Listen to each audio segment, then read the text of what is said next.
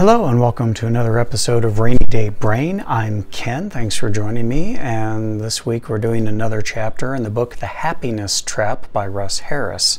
And in this chapter, Scary Pictures, he talks about uh, diffusion techniques to diffuse unpleasant images rather than just negative thoughts negative words in our heads. So the goal is the same as we have for dealing with negative or intrusive thoughts to diffuse their power by changing how we perceive them rather than trying to just suppress them because as he's pointed out many times suppressing your thoughts doesn't usually work they just kind of boomerang back on you with even greater intensity later on so he does have a disclaimer in this chapter though that if you are dealing with particularly traumatic images of things like assault, uh, abuse, anything like that, you really should be trying to work through those with a qualified therapist who can help you, who kind of guide you through that kind of thing. So, without further ado, the techniques are starting with the television screen technique.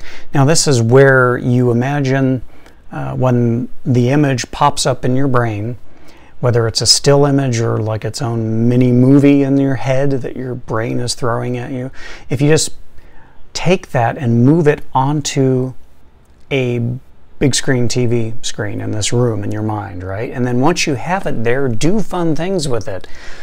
What do I mean by that? Well, try playing it in fast forward mode, or reversing it, or playing it in slow mo um, adjust the colors on the image, you know, turn up the saturation to where everybody looks like they're sunburned or living on Mars or something. Whatever you have to do, turn the image on its side so it's not, you know, so it's kind of sideways. Flip it to its backwards. Just do whatever you can to that image to remind you that it is an image. It's not going to hurt you. It's just a stupid image that your stupid brain came up with to taunt you with and uh, you're just not going to deal with it. You're going to go into editor mode, right? And with your own editing software in your head, you're going to tear that image apart, thus diffuse its power over you. And the next technique is subtitling. So the, it's the same concept. You put the image, whether it's a still image or a movie, uh, onto the flat screen TV in your brain, and then you subtitle it to make it humorous somehow. Uh, it's kind of like combining the movie technique with the naming technique that we used before, where you're naming the story that your brain is telling you in an effort to remind yourself that it's just a story and not necessarily the truth about anything. The next technique he covers is the uh, musical soundtrack, which is kind of fun. I like this one. So I, I find it works especially well when you have that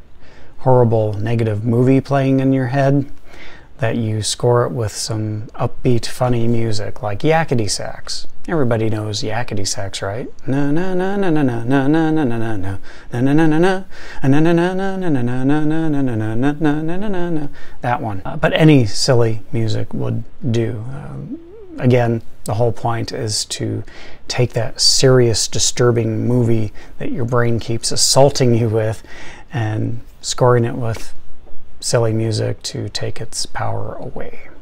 And then the final technique he talks about, and this works better, I think, with still images, uh, is the various locations technique, you know, different locations. So what he means by that is you take the, the disturbing image and you put it on a milk carton or maybe on the t-shirt of some random guy walking down the street in your brain or maybe on the side of a bus anything to kind of reinforce once again that it's just a picture. You can put that picture anywhere and it doesn't really mean anything.